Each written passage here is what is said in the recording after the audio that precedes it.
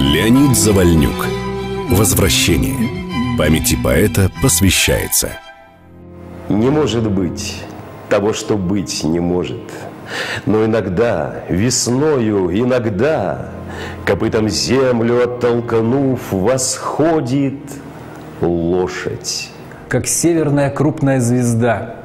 И мореходы в вахтенных журналах с восторгом пишут, глядя в небеса. Замечен пролетающий предмет конеподобной формы, типа лошадь.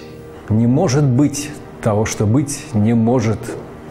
Но иногда, порою по весне, когда запахнет талыми снегами, Легко дорогу оттолкнув ногами, Восходит грусть, живущая во мне – и снова я один, и снова мир огромен, и снова слышу я, не склонный к чудесам, Как дико ржет подсобный старый конь. На тихом ипподроме с телегой вместе, поднимаясь к небесам.